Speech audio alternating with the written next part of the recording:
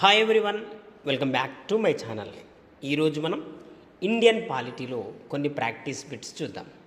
మొదటి ప్రశ్న.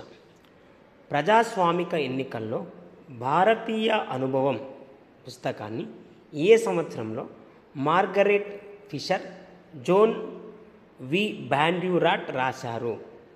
ప్రజాస్వామిక ఎన్నికల్లో భారతీయ అనుభవం అనే పుస్తకాన్ని ఏ సంవత్సరంలో Margaret Fisher Joan V Bondurant రాశారు. దీని ప్రచురణకర్త Indian Press digest.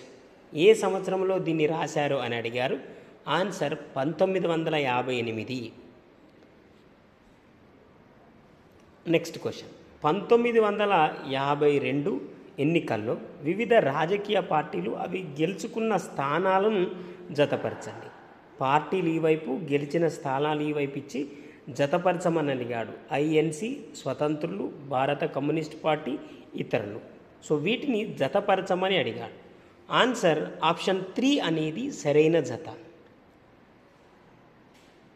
Next question. పంతొమ్మిది వందల అరవై రెండు పంతొమ్మిది వందల అరవై రెండు ఎన్నికల్లో రాజకీయ పార్టీలు అవి గెలుచుకున్న స్థానాలను జతపరచండి.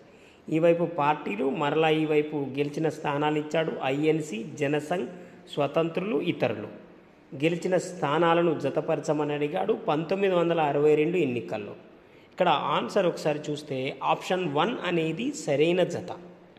Next question. కింది వాటిలో సరైనవి గుర్తించండి. ఇక్కడ వచ్చిన వాటిలో సరైనవి అడిగాడు భారతదేశ మొదటి ప్రధాని జవహర్లాల్ నెహ్రూ. మొదటి మూడు సార్వత్రిక ఎన్నికల్లో భారత జాతీయ కాంగ్రెస్ ఘన విజయం సాధించింది. మూడు సార్వత్రిక ఎన్నికల్లో ఇతర పార్టీలో ఏ ఒక్కదానికి పదకొండు శాతానికి మించి ఓట్లు రాలేదు. మొత్తం పోలైన ఓట్లలో నలభై ఐదు శాతం ఓట్లు డెబ్బై శాతం పైగా స్థానాలు గెలుచుకుంది. కాంగ్రెస్ నలభై ఐదు శాతం ఓట్లు డెబ్బై శాతం పైగా స్థానాలు గెలుచుకుంది. వీటిలో సరైనది అడిగాడు. సరైనది గనక చూస్తే ఇక్కడ ఇవ్వబడినవన్నీ కూడా సరైనవే. Next question. కింది వాటిలో సరికాంది గుర్తించండి. చూడండి సరికాని దాన్ని అడిగాడు. సరికాని దాన్ని అడిగాడు ఇక్కడ. సరికాంది గనక మనం చూస్తే చూద్దాం చూడండి. పంతొమ్మిది వందల యాభై మూడు డిసెంబర్ ఇరవై తొమ్మిదిన రాష్ట్రాల పునర్వ్యవస్థీకరణ సంఘం ఎస్ఆర్సి ఏర్పాటు. ఎస్ఆర్సిలో Fazal Ali MK Panikkar HS HN Kunzru సభ్యులు. ఎస్ఆర్సి ప్రకారం పద్నాలుగు రాష్ట్రాలు ఆరు కేంద్రపాలిత ప్రాంతాలు ఉన్నాయి పంతొమ్మిది వందల యాభై ఐదులో పార్లమెంట్ రాష్ట్రాల పునర్వ్యవస్థీకరణ చట్టాన్ని ఆమోదించింది. వీటిలో సరికాంది అడిగాడు. సరికాంది కనుక చూస్తే పంతొమ్మిది వందల యాభై ఐదులో పార్లమెంటు రాష్ట్రాల పునర్వ్యవస్థీకరణ చట్టాన్ని ఆమోదించింది అనేది సరికాంది. ప్లీజ్ ఫ్రెండ్స్ నేను మరొకసారి రిక్వెస్ట్ చేస్తున్నా ఈ ఛానల్ మీకు యూస్ఫుల్గా ఉందని నేను భావిస్తున్నా. Please like share and subscribe. Next question. కింది వాటిలో సరైనవి గుర్తించండి. ఇప్పటి వరకు పాకిస్తాన్తో పంతొమ్మిది వందల నలభై ఎనిమిది పంతొమ్మిది వందల అరవై ఐదు పంతొమ్మిది వందల డెబ్బై ఒకటి తొంభై తొమ్మిదిలో నాలుగు యుద్ధాలు జరిగాయి. పంతొమ్మిది వందల అరవై రెండులో భారత్ చైనా యుద్ధం జరిగింది. పాకిస్తాన్తో నలభై ఎనిమిది పంతొమ్మిది వందల నలభై ఎనిమిది అరవై ఐదు డెబ్బై ఒకటి తర్వాత తొంభై తొమ్మిదిలో యుద్ధాలు జరిగాయని రాశాడు. తర్వాత అరవై రెండులో చైనాతో యుద్ధం జరిగింది అన్నాడు వీటిలో సరైంది అడిగితే సరైంది గనక చూస్తే ఇక్కడ ఇవ్వబడిన రెండు కూడా సరైనవే. ఏ ఆర్ రెండు సరైనవే. Next question. నెక్స్ట్ క్వశ్చన్ కింది వాటిని జతపరచండి. జతపరచమని అడిగాడు హిందీ భాష వ్యతిరేక ఉద్యమం అస్సాంలోని కాశీ జయంతియా గారో గిరిజన ప్రాంతాల్లో మేఘాలయ రాష్ట్రం ఏర్పడిన సంవత్సరం లాల్ బహదూర్ శాస్త్రి మరణం పంజాబ్లో చండీగఢ్ కోసం ఉద్యమాలు జరిగిన సంవత్సరం. సో ఇక ఈ వైపు సంవత్సరాలను జతపరచమన్నాడు. పంతొమ్మిది వందల అరవై తొమ్మిది అరవై ఎనిమిది అరవై తొమ్మిది అరవై మూడు అరవై ఆరు. వీటిని జతపరచమని అడిగాడు. సరైన జత చూస్తే ఆప్షన్ టూ అనేది సరైన జత. కింది వాటిని జతపరచండి. కింది వాటిని జతపరచండి. నినాదాలు అవి ఇచ్చిన వారిని జతపరచమని అడిగాడు. గరీబీ హటావో జై జవాన్ జై కిసాన్ బికారీ హటావో దేశ్ బచావో దేశ్ బనావో. నినాదాలు అవి ఇచ్చిన వారిని జతపరచమని అడిగాడు. పివి నరసింహారావు గాంధీ రాజీవ్ గాంధీ బహదూర్ శాస్త్రి ఇందిరాగాంధీ ఇక్కడ సరైన జత ఒకసారి చూస్తే ఆప్షన్ టూ అనేది సరైన జత. Next question. నెక్స్ట్ క్వశ్చన్ కింది వాటిలో సరైనది తెలపండి. చూడండి ఇక్కడ ఇచ్చిన వాటిలో సరైనది అడిగాడు. పంతొమ్మిది వందల డెబ్బై ఏడు మార్చ్ ఇరవై ఆరున ఆరో లోక్సభ స్పీకర్గా నీలం సంజీవరెడ్డి పనిచేశారు. పంతొమ్మిది వందల డెబ్బై ఏడు జూలై ఇరవై ఐదున ఆరో రాష్ట్రపతిగా నీలం సంజీవరెడ్డి పనిచేశారు. వీటిలో సరైనది అడిగాడు. సరైనది కనుక చూస్తే ఇక్కడ ఇవ్వబడిన రెండు స్టేట్మెంట్లు కూడా సరైనవే.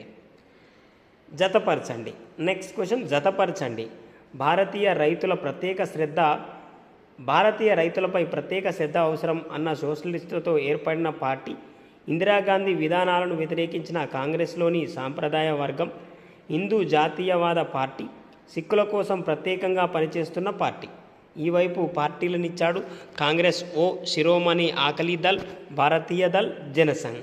సో వీటిని జతపరచమని అడిగాడు. సరైన జత ఒకసారి చూస్తే ఆప్షన్ టూ అనేది సరైన జత. ప్లీజ్ ఫ్రెండ్స్ నేను మరొకసారి రిక్వెస్ట్ చేస్తున్నా ఈ ఛానల్ మీకు యూస్ఫుల్గా ఉందని నేను భావిస్తున్నా. Please like share and subscribe next question కింద వాటిలో సరైనవి గుర్తించండి.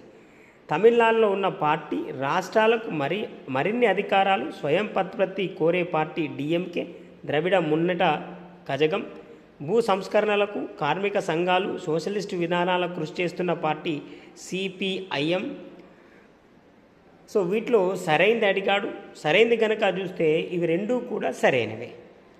కింది వాటిలో సరికాంది గుర్తించండి. చూడండి. సరికాంది అడిగాడు ఇక్కడ. నీలం సంజీవరెడ్డి పాలనా కాలంలో మొరార్జీ దేశాయ్ చరణ్ సింగ్ ఇందిరాగాంధీ ప్రధానమంత్రులుగా పనిచేశారు. మొదటి కాంగ్రెసేతర ప్రధానమంత్రి అటల్ బిహారీ వాజ్పేయి. వీటిలో సరికాంది అడిగాడు. సరికాంది కనుక చూస్తే ఆర్ అనే స్టేట్మెంటు సరికానిది. కింది వాటిలో సరైంది గుర్తించండి. చూడండి ఇక్కడ సరైంది అడిగాడు. పంతొమ్మిది వందల ఎనభై రెండులో ఎన్టీఆర్ తన అరవయవ పుట్టినరోజు నాడు తెలుగుదేశం పార్టీ టీడీ టీడీపీని ప్రారంభించారు. పంతొమ్మిది వందల ఎనభై రెండు ఎన్నికల్లో టీడీపీ ఘన విజయం సాధించింది. వీటిలో సరైంది అడిగాడు. సరైంది కనుక చూస్తే ఇక్కడ ఇవ్వబడిన ఏ ఆర్లు రెండు సరైనవే. Next question. కింది వాటిలో సరికాని దాన్ని గుర్తించండి. చూడండి సరికాని దాన్ని అడిగాడు. పంతొమ్మిది వందల ఎనభై నాలుగు అక్టోబర్ ముప్పై ఒకటిన గాంధీ హత్యకు గురయ్యారు. పంతొమ్మిది వందల ఎనభై ఆరు ఏప్రిల్లో అకల్ తఖ్త్ వద్ద జరిగిన సమావేశంలో ఖలిస్తాన్ స్వతంత్ర దేశంగా ప్రకటించారు. పంతొమ్మిది వందల తొంభై మే ఇరవై ఒకటి మే ఇరవై ఒకటిన రాజీవ్ గాంధీ హత్యకు గురయ్యారు. ఇక్కడ సరికాని దాన్ని కనుక చూస్తే సి అనేది సరైంది కాదు. చూడండి సి స్టేట్మెంట్ అనేది సరైంది కాదు. నెక్స్ట్ క్వశ్చన్ భర్త నుంచి విడాకులు పొందిన షబానో అనే మహిళ వేసిన కేసులో మాజీ భర్త ఆమెకు భరణం చెల్లించాలని సుప్రీంకోర్టు ఏ సంవత్సరంలో తీర్పునిచ్చింది? చూడండి.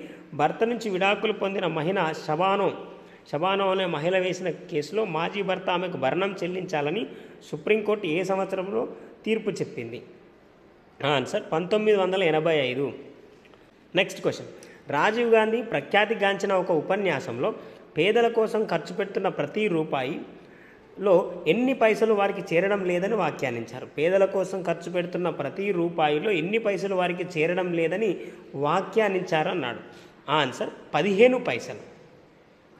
కింది వాటిలో సరైంది గుర్తించండి. చూడండి ఇక్కడికి వచ్చిన వాటిలో మరలా సరైంది అడిగాడు. పంతొమ్మిది వందల డెబ్బై ఏడులో పశ్చిమ బెంగాల్ రాష్ట్ర ఎన్నికల్లో జ్యోతి బసు ప్రభుత్వం ఏర్పడింది. పం బెంగాల్ ప్రభుత్వం పంతొమ్మిది వందల డెబ్బై ఎనిమిదవ జూన్లో కౌలుదారుల హక్కులు కాపాడడానికి ఆపరేషన్ బర్గాను చేపట్టింది. వీటిలో సరైనవి అడిగాడు సరైన కనుక చూస్తే ఏ ఆర్లు రెండు సరైనవి. Next question. సామాజికంగా విద్యాపరంగా వెనుకబడిన తరగతులకు ప్రభుత్వ ఉద్యోగాల్లో ఇరవై ఏడు శాతం ఇరవై ఏడు శాతం రిజర్వేషన్లు కల్పించాలన్న మండల్ కమిషన్ ముఖ్యమైన సిఫారసును అమలు చేసిన ప్రభుత్వం ఏది? Answer National Front. కింది వాటిలో సరికాని దాన్ని గుర్తించండి. చూడండి కింది వాటిలో సరికాని దాన్ని అడిగాడు. డెబ్బై మూడు కమ డెబ్బై నాలుగు రాజ్యాంగ సవరణను పంతొమ్మిది వందల తొంభై రెండులో పివి నరసింహారావు ప్రవేశపెట్టారు. డెబ్బై మూడు డెబ్బై నాలుగు రాజ్యాంగ సవరణల ద్వారా మొత్తం ఒకటి బై మూడు వంతు స్థానాలను మహిళలకు కేటాయించారు. డెబ్బై డెబ్బై మూడవ రాజ్యాంగ సవరణ పట్టణ నగరాలకు సంబంధించింది. డెబ్బై నాలుగవ రాజ్యాంగ సవరణ గ్రామీణ ప్రభుత్వాలకు సంబంధించింది. సో వీటిలో సరికాంది అడిగాడు. సరికాంది కనుక మనం చూస్తే ఎస్ మాత్రమే సరికాదు. సరైన వాక్యాలు గుర్తించండి. సరైన వాక్యాలు అడిగాడు. పంతొమ్మిది వందల ఎనభై నాలుగులో లోక్ పంతొమ్మిది వందల ఎనభై నాలుగు లోక్సభ ఎన్నికల్లో బీజేపీ గెలిచిన స్థానాలు రెండు. పంతొమ్మిది వందల ఎనభై నాలుగు లోక్సభ ఎన్నికల్లో ఐఎన్సీ నాలుగు నాలుగు వందల నాలుగు సీట్లు గెలిచింది. పంతొమ్మిది వందల ఎనభై నాలుగు లోక్సభ ఎన్నికల్లో టీడీపీ ముప్పై సీట్లు గెలిచింది. పంతొమ్మిది వందల తొంభైలో గుజరాత్లోని సోమనాథ ఆలయం నుంచి అయోధ్య వరకు ఎల్కే అద్వానీ రథయాత్ర చేపట్టారు. సరైన వాక్యాలు అడిగాడు. సరైనవి కనుక చూస్తే ఇక్కడ ఇవ్వబడిన అన్నీ కూడా సరైనవి. నెక్స్ట్ క్వశ్చన్ భారతదేశంలో సరళీకృత విధానాలను ప్రవేశపెట్టిన ప్రధానమంత్రి ఎవడు చూడండి. భారతదేశంలో సరళీకృత విధానాలను ప్రవేశపెట్టిన ప్రధానమంత్రి ఎవరు అని అడిగారు? Answer PV Narasimha Rao. Next question అస్సాంలో అస్సాం గణ పరిషత్ ప్రభుత్వం ఎప్పుడు ఏర్పడింది? గణ పరిషత్ అస్సాం గణ పరిషత్ ప్రభుత్వం ఎప్పుడు ఏర్పడింది అని అడిగాడు?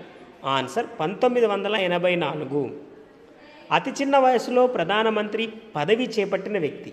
చూడండి అతి చిన్న వయసులో ప్రధానమంత్రి పదవి చేపట్టిన వ్యక్తి ఎవరు అని అడిగాడు? ఆన్సర్ రాజీవ్ గాంధీ.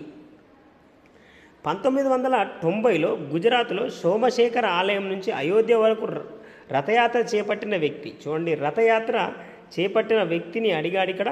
పంతొమ్మిది వందల తొంభైలో గుజరాత్లోని సోమశేఖర ఆలయం నుంచి రథయాత్ర చేపట్టిన వ్యక్తి ఎవరు? అయోధ్య వరకు అడిగాడు ఇక్కడ.